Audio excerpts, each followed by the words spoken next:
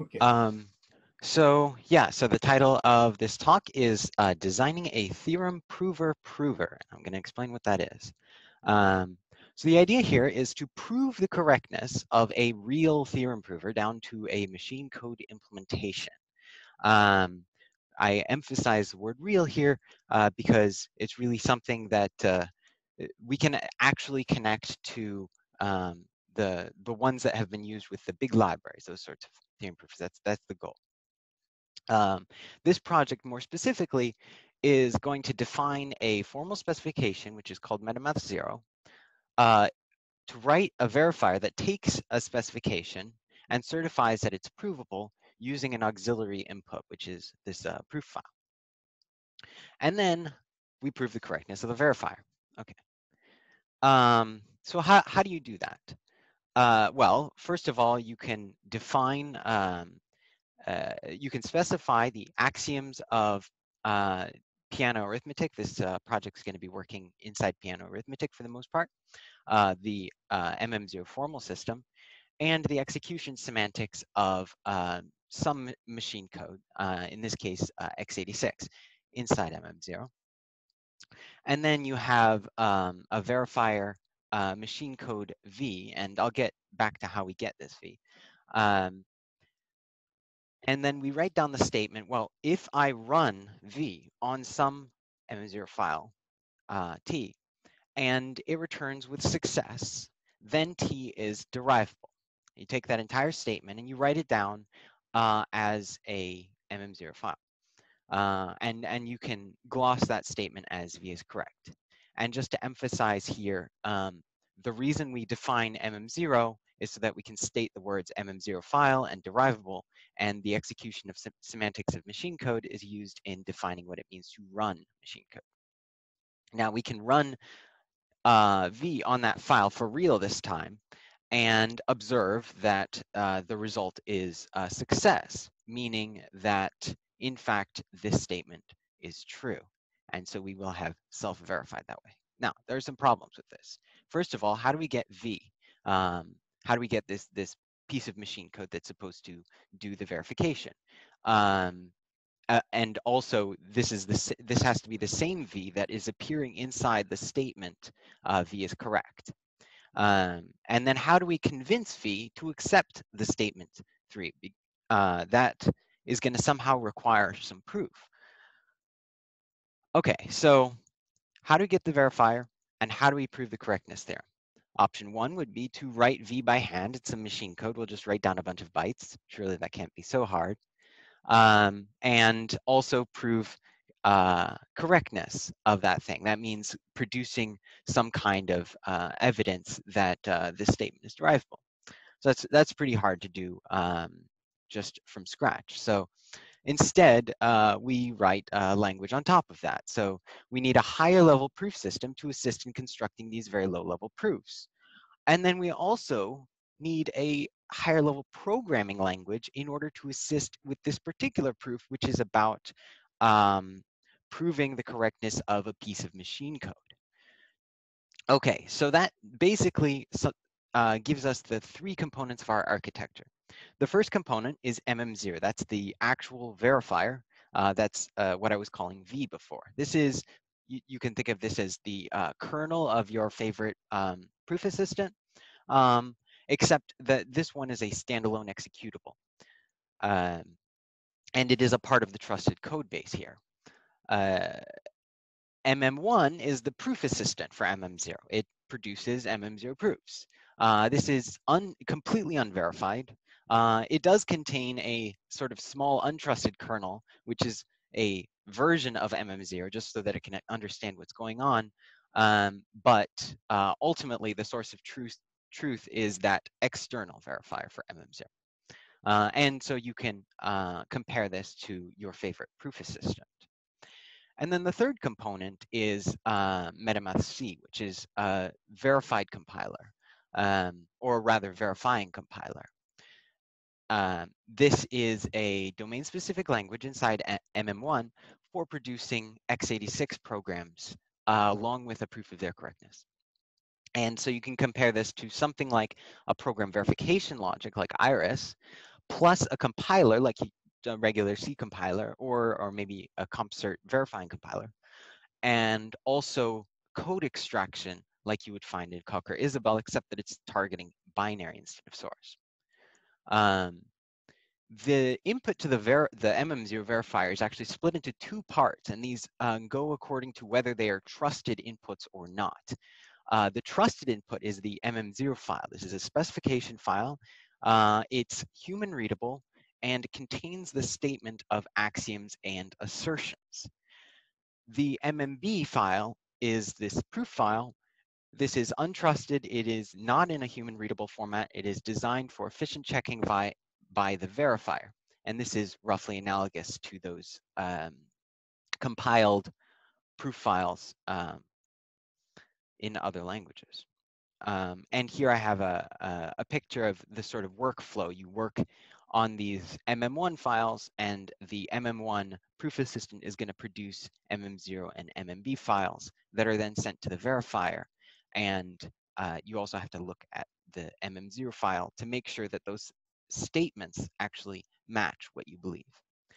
So um, to recap, uh, an MM0 file contains the logic, the definitions, and the theorems that we're trying to prove. The MMB file has the proof. The MM0 verifier takes both of those two files and checks that the MMB file proves the theorems. The MM1 proof assistant reads MM1 files and produces these pairs. And what I'm trying to do is prove the correctness of the machine code for that MM0 verifier. Okay, so uh, let me give you an example of what an MM0 file actually looks like. So um, here uh, we're defining a sort, which, uh, which is called WFF. We define implication, we define negation uh, as primitive constructors, and then we can write down the axioms of propositional, classical propositional logic. We can make some definitions saying, okay, here's what and is, here's what if and only if is, here's what or is, and so on. Um, predicate logic continues in much the same way. We axiomatize for all, uh, and then we can define exists. Uh, we axiomatize equality, give a bunch of axioms um, defining how predicate logic works, uh, and define substitution. And then we can use that to define the actual non-logical axioms. These are the Peano axioms. Um, so for example, this here is the induction axiom. Uh, we add addition, multiplication, and then we axiomatize um, how they operate. And then finally, uh, we can define a couple things. We define uh, one and two, define less equal, less than, uh, divides, and primality. And now we can state uh, the Goldbach conjecture. Um, so here, note the lack of proof. This is actually just um, the statement of the proof, or the statement of uh, the theorem that we'd like to be true. So this is a complete MM0 file, it's about 60 lines, and it asserts that Goldbach's conjecture is derivable from the axioms of Peano arithmetic. As you saw, we basically built everything up from scratch. Um, the correctness theorem for MM0 implies that uh, if the MM0 verifier accepts any proof of this file, then um, Goldbach's conjecture is in fact provable in Peano arithmetic. Okay, so the MM0 verifier uh, is implemented in C. It's about 2,000 lines of code.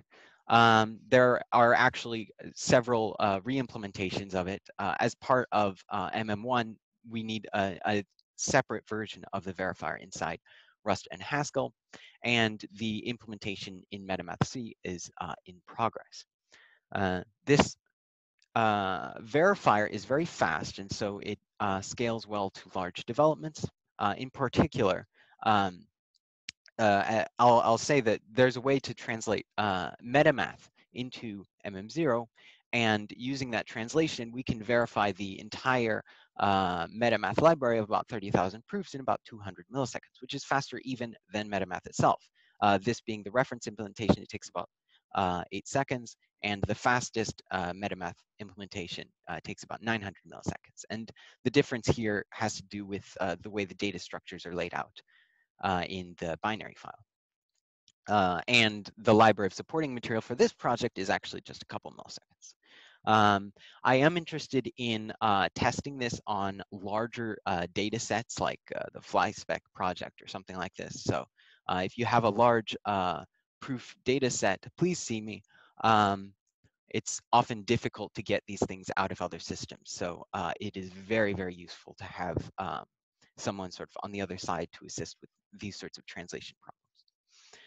Um, proof terms in the binary format are, are essentially fully elaborated and fully deduplicated terms, and as a result of that, you can get a basically linear time verification, and the proof size is comparable to compiled proof formats in other languages, like MetaMath files or uh, OLean files from Lean and VO files for Coq. Um, so the MM0 formal system is roughly the intersection of MetaMath and second order logic, which means that it's actually easy to translate between MetaMath and MM0, as well as from MM0 to uh, second order logic or higher order logic. Um, so these are the existing translations. So I have a translation from MetaMath to MM0, from MM0 to a bespoke implementation of uh, HOL, and from that, uh, this is sort of an intermediate language, which then translates to open theory and also to lean. Um, and the uh, translator, as I said, has been used to losslessly translate the entire uh, ZFC library into MM0. Um, and uh, the HOL, I basically have a, an implementation of HOL which uh, checks this uh, correctness. Um, the lean port, uh, so if you uh, compose all of those translations, you get a translation from MetaMath to lean. And MetaMath has a big library and Lean has a big library, so this is actually kind of nice. Uh, we can now take all of MetaMath and stick it inside of Lean. Um, and you have to do some alignment after that in order to make those theorems useful, but uh, after doing that, uh, these are not difficult theorems, you can prove a statement like this. So this is a proof of Dirichlet's theorem uh, from only the axioms of Lean. Um, and uh, it was proven using the MetaMath library because there's a proof of Dirichlet's theorem inside MetaMath. Um, so I consider this a great uh, successful application of proof translation um, in large. Uh, and uh, work on the, the reverse translation is underway. Okay, so uh, the proof assistant, uh, MetaMath 1, is an extension of MM0. As, as we saw, MM0 didn't have a way to say proofs. It, it just You just state theorems, you don't prove them. Uh, MM1 adds a way for you to say, oh, and by the way, the proof is this. Um, and it also adds a Turing complete metaprogramming slash scripting language, uh, which is um, based on Scheme. Uh, there are two implementations of this uh, in Haskell and Rust. Um, the Haskell one is deprecated. Um, and this provides uh, syntax highlighting, live error diagnostics, and so on uh, using uh, the language server protocol. Okay, so um, recall that we were trying to get these two parts. We needed the verifier and we needed the correctness theorem. In order to prove the correctness theorem, we built this uh, proof system, this proof assistant for MM0. But now let's look at how to uh, get the verifier, uh, the actual uh, code, uh, and also uh, to prove facts about that at the same time. So that is what MetaMath C is about. So um, as I said, MM1 is has a Turing complete programming language inside it. Uh, so within that, there is a function called MMC compile that you give it um, a name and you give it um, some program text. So it takes an, a C-like program with uh, an embedded specification um, and it compiles it down to machine code and produces a proof that the program meets its specification. Uh, and MetaMath C describes the input grammar of this prog here. Um, and uh, I should mention that uh, this is still in early development. So, um, but uh, the plans for this are quite well laid out. Okay, so uh, as an example here, I'm gonna prove that two plus two equals four using computation on, you know, my actual laptop. Um, in order to do that, uh, we're going to use two functions. This is sort of a Rube Goldbergian way to do it, but we'll just say uh, we have uh, a function called adder, and this is going to add things. So this takes in two uh, variables, x and y, they're 32-bit, and produces a 64-bit result uh, and um, a proof that x plus y equals ret. Uh, and then main is going to take no arguments and pr prove that 2 plus 2 equals 4. So uh, if we were doing this in a, in a functional programming language, um, it might look something like this. So adder is taking x and y, and well, for ret, it's just going to return x and y. Uh, the types don't quite match up, uh, so we're going to cast it. Uh, this exclamation point here indicates uh, that um, we're going to produce a proof that this thing actually has that type. Uh, and if it doesn't have that type, we're actually going to crash the program. We're going to make it uh, exit out with a non-zero exit code. And therefore, we will know that whatever this thing, whatever the specification was planning to prove, it didn't happen. Um, and then the equality is just REFL here because this is x plus y, roughly. Um, and uh, for the main program, we're going to call adder with arguments 2 and 2. It's going to return a value. We should hope that this value is 4. And then it also produces a proof that 2 plus 2 equals that value. So now uh, we assert that value equals 4. Um, so we get this. And then uh, and then we just compose them by transitivity and we return a proof of 2 plus 2 equals 4. Uh, so this is uh, what this actually looks like in, uh, so the outer language here, where you see the import and the do, that's MetaMath 1. And then inside this do block, we have that Lispy um, language where we can uh, write programs. And then we're calling here the MMC compile. And then inside this, um, this quoted Lisp literal, we have uh, this different language, this C language. So here, this is the uh, MetaMath C language, and we're going to define a procedure called adder and another procedure called main. Uh, and adder takes x and y, returns ret, and a proof that x plus y equals ret. Um, it does so first, it's going to prove, so that the cast um, needed a proof. This proof was a proof that it did not overflow. Um, now you can actually prove that from this context, but uh, because I'm being lazy here, I'm just going to assert, uh, which means we're going to crash the program if it's not the case. Uh, and then we get uh, the value uh, ret, and uh, ret eq is going to be assigned to the value of this assignment. And unlike in C, here an assignment actually returns a proof of equality of the variable being assigned to the value that it was assigned. So this is actually going to end up being a proof that x plus y equals ret. And so we just pass them both out. And then main uh, calls adder with 2 and 2. It gets a proof that, uh, it gets a value, val, and a proof that 2 plus 2 equals val. It asserts that val equals 4. And now h2 is a proof that val equals 4. And we compose them with transitivity. And we return that, which means that we've returned a proof of 2 plus 2 equals 4. So that's the code. We pass that to MMC compile and it produces machine code.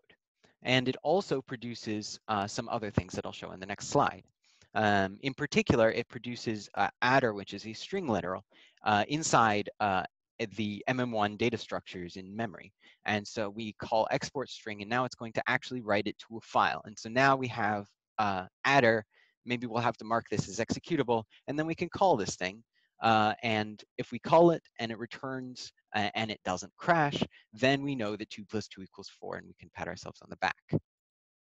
So when we call that uh, tactic, uh, what it actually produces are these uh, definitions and theorems. So it produces uh, the adder, which is the actual, this is just a string literal containing a bunch of binary, which is the actual um, ELF file and it proves that it's an ELF file, which is valid, and it proves that this function always terminates. And also that if it were to be executed uh, and uh, that execution succeeds, then 2 plus 2 equals 4. All right. Um, so uh, just um, to go over some of the, the highlights of the, the design of this inner language here, um, it's basically a C-like structure, uh, heavily influenced by Rust, um, but it's also uh, influenced by um, the HOL and, and functional programming in general. And so there is a way that you can just say, uh, my function is pure, and then it ac actually produces a HOL function um, which describes the semantics of that function. Um, even if you're using global variables and other things, it'll just do a sort of state monad thing.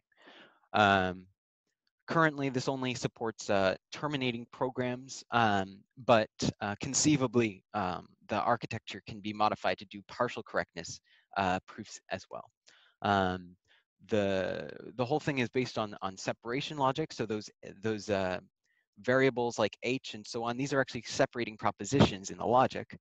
Um, and uh, the type checker here, this is essentially a soft typing system. So uh, the type checker is a mechanism for tracking and supplying typing proofs where needed. And you can actually sort of split a, uh, a variable from its type. And then you can pass around the fact that this variable has a certain type, which can be useful. Um, and uh, types can be consumed by function calls and so on. So that actually makes it a lot more like a Rust-like linear logic. Um, but uh, most interestingly, I would say compared to most programming languages, this thing is designed to be proof producing from day one. So if the program compiles, then it's correct and you have a proof of correctness. All right, so um, the overall progress of this uh, project, uh, everything uh, that I've discussed uh, can be found in the MM0 repo. Um, this has uh, informal specifications of all of these three languages. Uh, there is a MM0C verifier. Um, the translations are in the Haskell verifier, and the MM1 proof assistant in Rust is pretty stable. we have a um, this uh, this MMC tactic is, is still a work in progress. Um, and then uh, there's a bunch of uh, proof files. So Peano has a library of theorems in Peano arithmetic. Um, mm0.mm0 is the formal specification of mm0 inside its own language.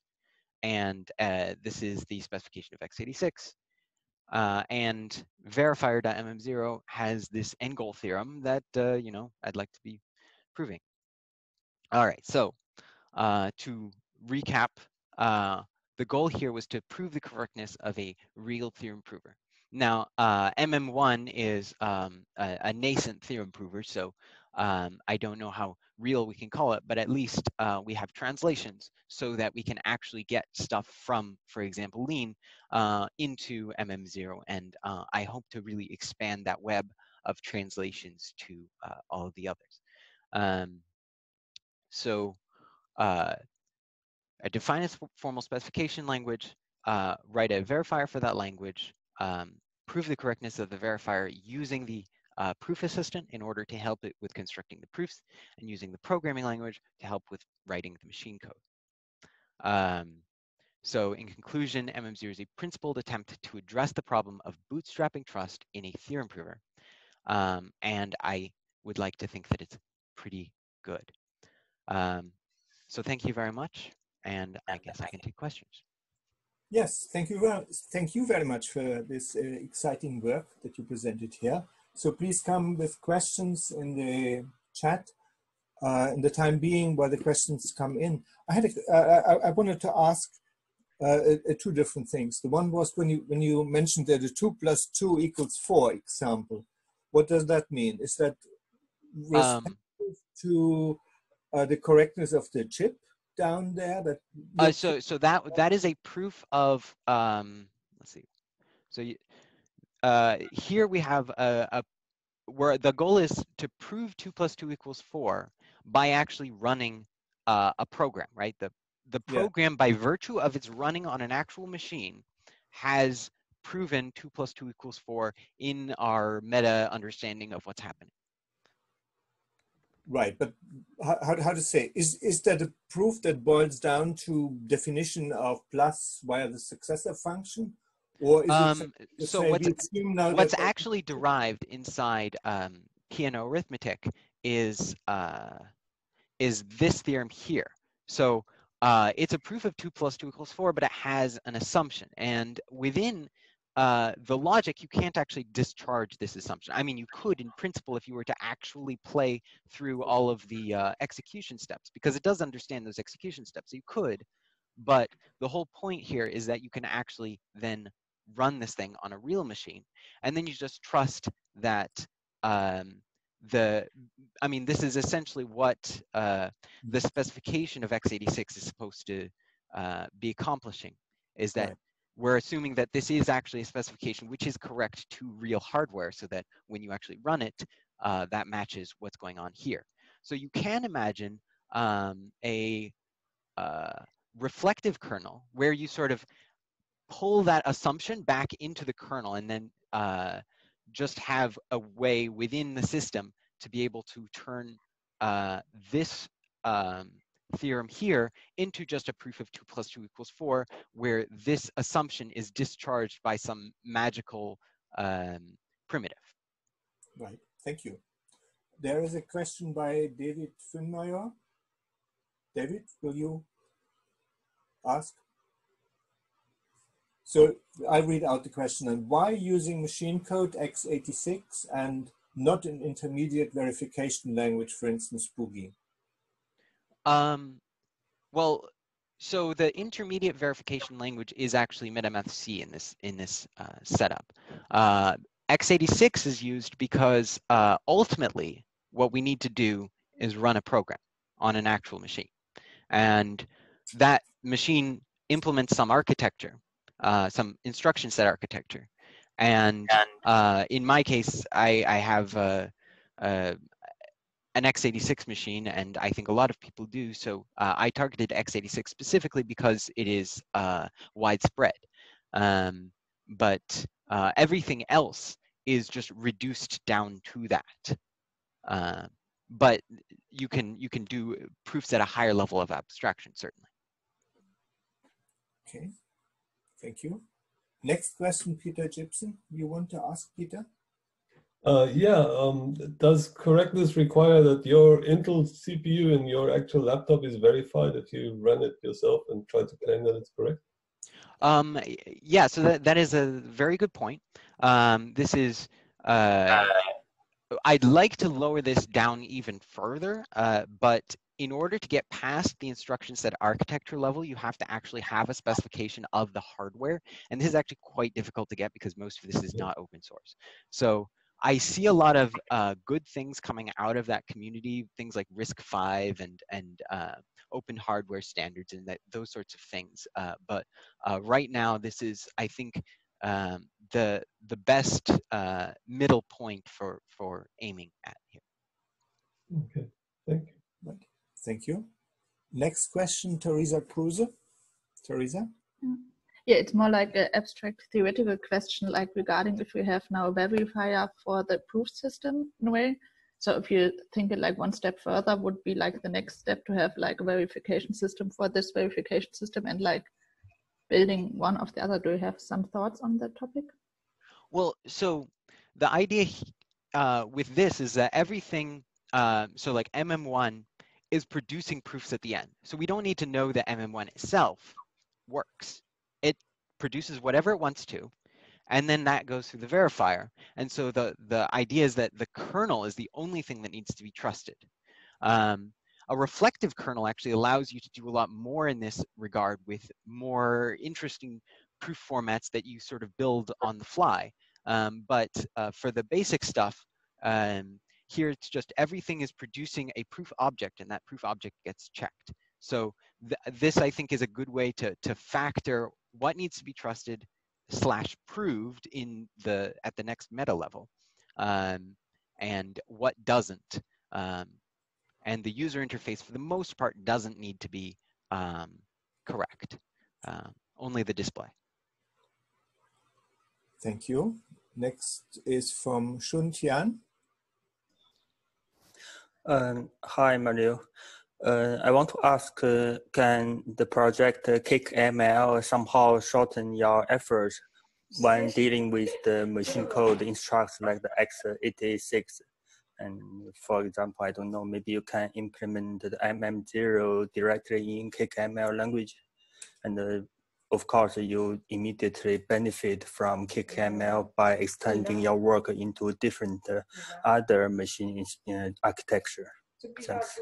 Thanks. Um, so as far as I understand, and, and I, I could be wrong, uh, but CakeML is uh, not uh, equipped to handle um, theorems with uh, these sorts of things where you have proofs just sort of in the code.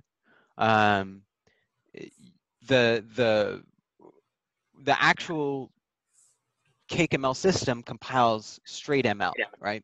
And I, I think that it's it's sort of a uh, a downside of uh, a lot of these systems that that uh, they're based on programming languages, and programming languages were not designed originally for proving. Uh, so this is really um, an attempt to look at uh, an, a proof system within like where where the the the proving and the code are actually one thing, right? It's, there's they're not separated. Um, maybe that helps. Right, thank you.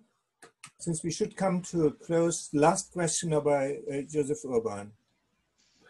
Uh, hi, hi, Mario. Uh, so it's great work. Uh, I'm wondering, you said you can align the Lean uh, and the Metamath numbers uh, somehow.